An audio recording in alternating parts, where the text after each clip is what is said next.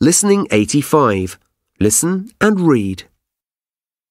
Young Stars Jordan Romero Jordan Romero is from the United States. He was born on the 12th of July, 1996. On the 22nd of May, 2010, Jordan became the youngest person to climb to the top of Mount Everest. He was 13 years, 10 months, and 10 days old when he reached the top of the mountain.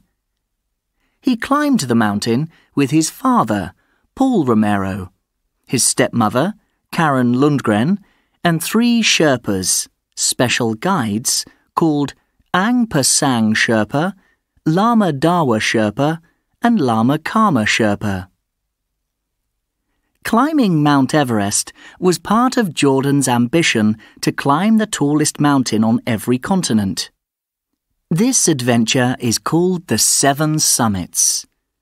When Jordan finished this incredible task, he was 15 years, 5 months, and 12 days old. So he is the youngest person ever to climb all seven mountains. The Seven Summits adventure took a lot of hard work, preparation, and training. Jordan visited some of the most beautiful places and some of the most extreme places on Earth, including the coldest place on Earth, Antarctica. Jordan was lucky to have a great team climbing with him. His father, Paul, and his stepmother, Karen, have both got a lot of experience in mountaineering, and they both love adventure. Paul knows how to help people in medical emergencies at great heights, where there isn't much oxygen. Karen is a coach and a personal trainer, so she's great at encouraging people to keep going. But Jordan didn't need a lot of encouragement to achieve his ambition. Like his dad, he loves adventure. Now, Jordan has started a new adventure. But this time, he is staying on one continent. He's going to climb the highest point in each of the US's 50 states. He calls this adventure the Find Your Everest Tour.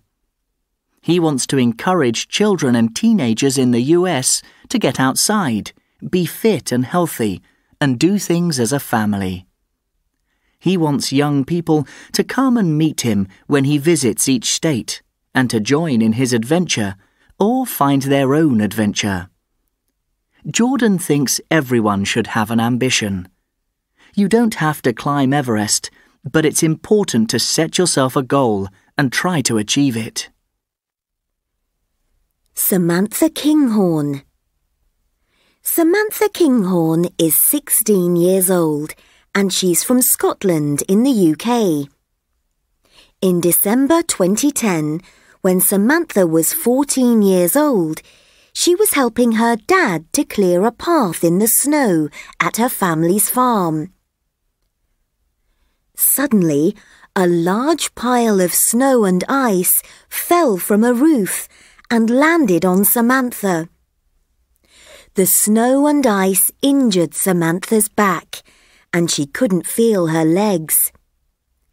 An ambulance took her to the nearest hospital, but Samantha's back was broken and she was not able to walk again. Samantha spent six months in the hospital recovering from her injuries.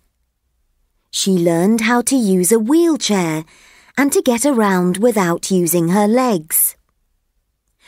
As Samantha became stronger, she discovered that she could make her wheelchair move very fast. A physiotherapist at the hospital took Samantha to Stoke Mandeville, the National Centre for Disability Sports. Samantha tried lots of different wheelchair sports. She realised that she was very good at wheelchair racing. Samantha started training six times a week. She soon became very fit and very fast. She won the Great Scottish Run 10 kilometre wheelchair race in September 2012. In April 2013, she entered the Mini London Marathon and finished second. She has also joined Scotland's athletics squad and will be the youngest member taking part in the Commonwealth Games in Glasgow in 2014.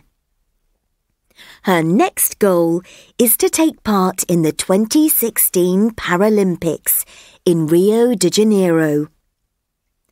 Samantha has achieved a lot in a very short time, and she is already becoming a national hero.